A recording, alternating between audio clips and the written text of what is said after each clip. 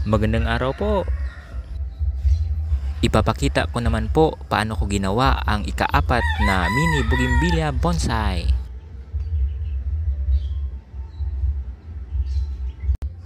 Ngayon, i-prepare ko po ang mga materyales. Ito po ang bakura namin.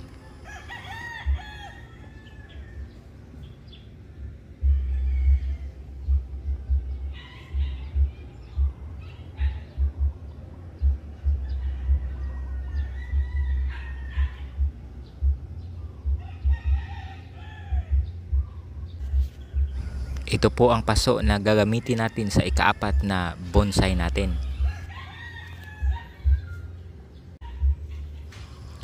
Ang bougainvillea na halaman na itatanim natin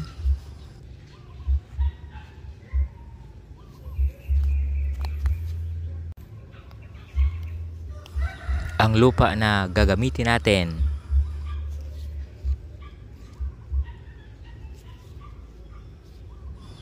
ang mga malalaking bato.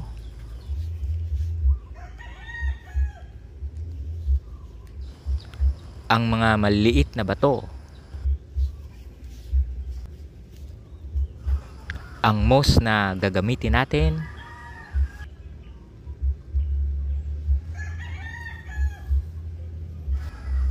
Ngayon, simulan na natin ang paggawa sa ikaapat na bonsai.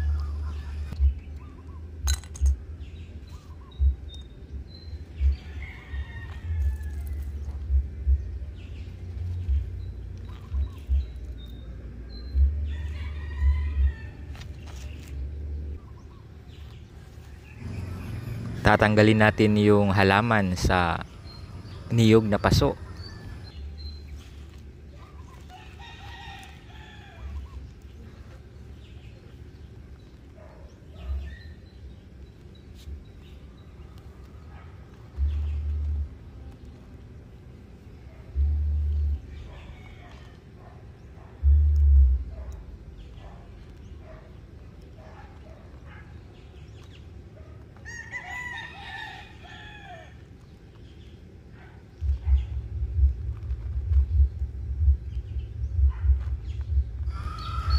tatanggalin natin yung 70% ng mga ugat nito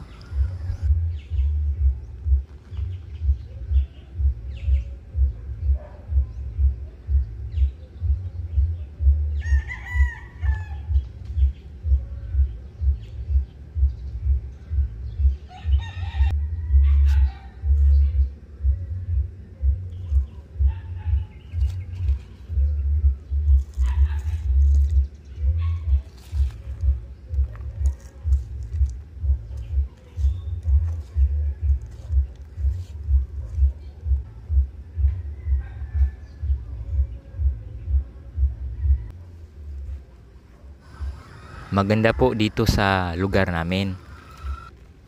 Malayo po sa mga maraming tao. Ang maririnig lang ninyo dito ay ang mga manok mga ibon at ang mga aso namin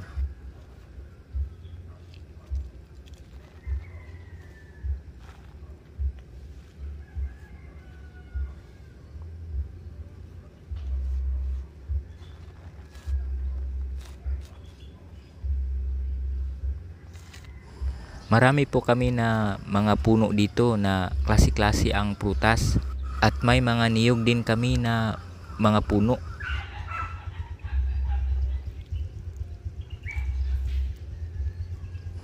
Ang pinaka gusto ko dito ay ang pag-inom ng tubig sa niyog. Dito po ang pinakamaganda na lugar na mag-relax.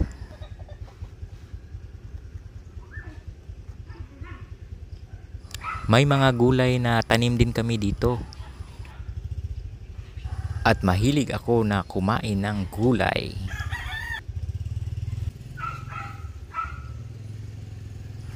Dito sa amin siguradong magiging malusog ka at dito ay napakapayapa. Ngayon tapos na, meron na tayong ikaapat na mini bougainvillea bonsai.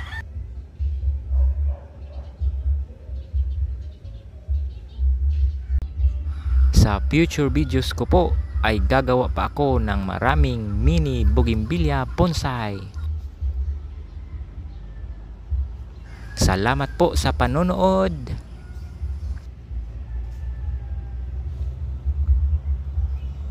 Suportahan po ninyo ang YouTube channel ko.